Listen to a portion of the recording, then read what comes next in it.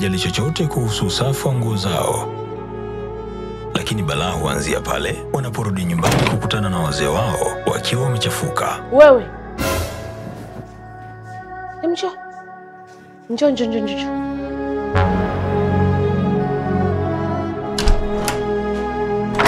Wewe ina maana Joana, hilo sio suluhisho. Suluhisho ni hili hapa. Hasira huondoka pale unapotumia sabuni ya Ikram ambayo hutakatisha nguo na kuonekana mpya kabisa kama iliyotoka dukani. Sabuni ya Ikram inapatikana madukani kote Zanzibar nzima katika ujazo tofauti. Usihangaike, tumia Ikram. Ikram Soap, People's Premier Brand.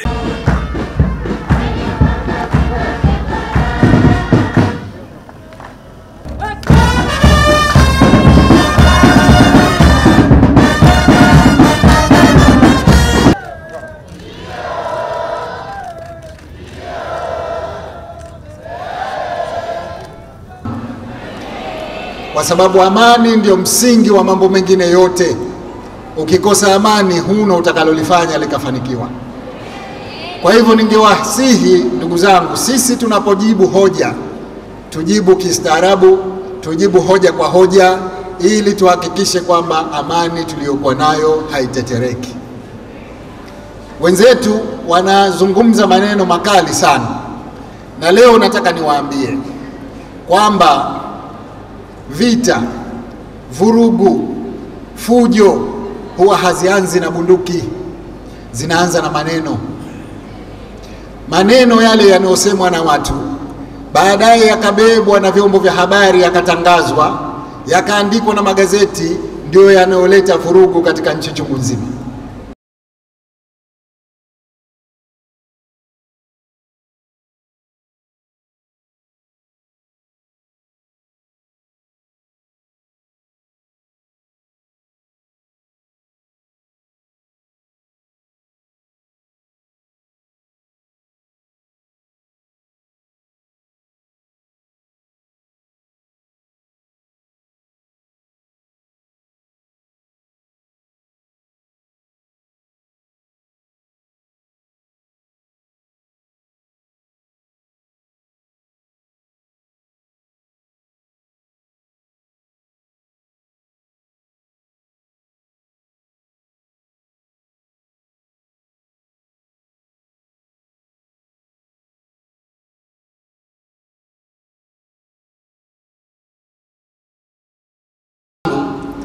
Serikali ilitengeneza mradi wa barabara ya kutoka Tunguu hapa mpaka Makunduchi.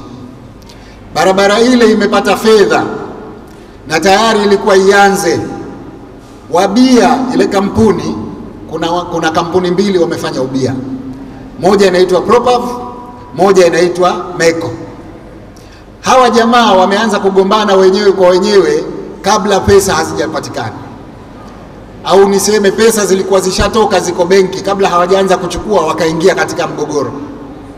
Sisi kama serikali tukasema tuki, tu, tuki, tukiacha hawa mabwana waendelee na mgogoro, barabara haitojengwa, watagawana hizo pesa. Wenyewe walitoa fedha zile, wakasikia kwamba kuna mgogoro, wakasimamisha, wakasema tunataka tuanze upya, tuhakikishe kwamba barabara kwamba kampuni hizi zimeshaelewana ndio pesa zitoke waendelee na barabara.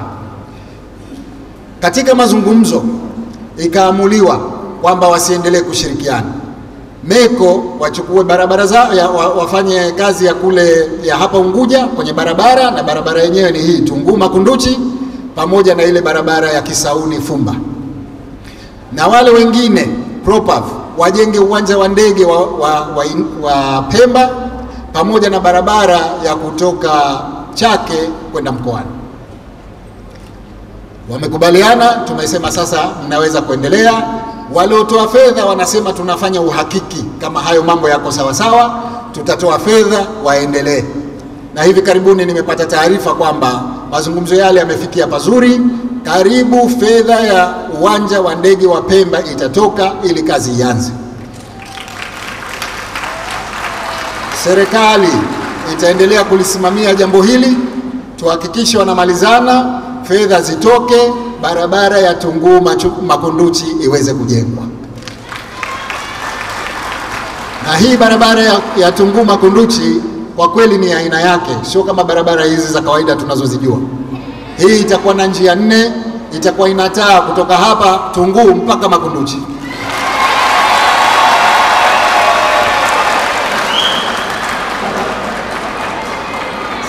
Sasa ndugu zetu wale kwa kutaka kutia fitina na kugombanisha serikali na wananchi, wanasema serikali ndio wameingilia jambo hili kuwanyang'anya wale ili tuwape watu wengine. Nasema waache uongo, waache unafiki, waache fitina zao. Hakuna ukweli katika maneno hayo. Serikali inafanya juhudi kuhakikisha ugomvi wao unakwisha, fedha zitoke, barabara na kiwanja cha ndege cha Pemba viweze kujengwa. Wenyewe walitoa fedha zile, wakasikia kwamba kuna mgogoro, wakasimamisha, wakasema tunataka tuanze upya, tuhakikishe kwamba barabara kwamba kampuni hizi zimeshaelewana, ndio pesa zitoke, waendelee na barabara. Katika mazungumzo ikaamuliwa kwamba wasiendelee kushirikiana. Meko wachukue barabara za, ya, wa, wafanye kazi ya kule ya hapa Unguja kwenye barabara, na barabara yenyewe ni hii Tunguu Makunduchi pamoja na ile barabara ya Kisauni Fumba, na wale wengine Propav wajenge uwanja wa ndege wa, wa, wa, wa Pemba pamoja na barabara ya kutoka Chake kwenda mkoani. Wamekubaliana, tumesema sasa mnaweza kuendelea. Waliotoa fedha wanasema tunafanya uhakiki kama hayo mambo yako sawa sawa, tutatoa fedha waendelee. Na hivi karibuni nimepata taarifa kwamba mazungumzo yale yamefikia pazuri, karibu fedha ya uwanja wa ndege wa Pemba itatoka ili kazi ianze. Serikali itaendelea kulisimamia jambo hili, tuhakikishe wanamalizana, fedha zitoke, barabara ya Tunguu Makunduchi iweze kujengwa. Na hii barabara ya, ya Tunguu Makunduchi kwa kweli ni aina yake, sio kama barabara hizi za kawaida tunazozijua. Hii itakuwa na njia nne, itakuwa ina taa kutoka hapa Tunguu mpaka Makunduchi.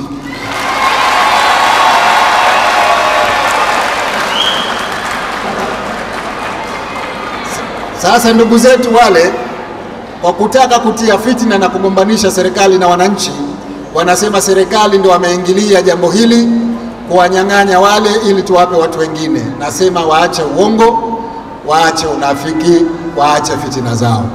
Hakuna ukweli katika maneno hayo. Serikali inafanya juhudi kuhakikisha ugomvi wao unakwisha, fedha zitoke, barabara na kiwanja cha ndege cha Pemba Katika kipindi hiki cha miaka mitatu tayari wanakusini umeshatupatia boti sitini katika vikundi vya ushirika sitini na tayari wavuvi wanatumia boti hizo, lakini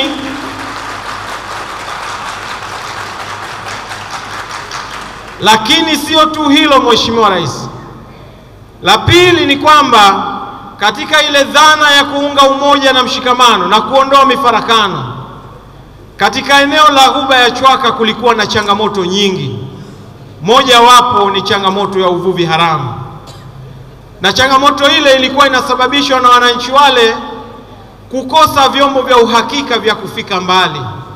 Naomba niwajuze wana CCM wenzangu wa Kusini kwamba Mheshimiwa Rais wetu ameshatuliza mgogoro ule na ataleta boti mia moja kwa ajili ya Kusini peke yake.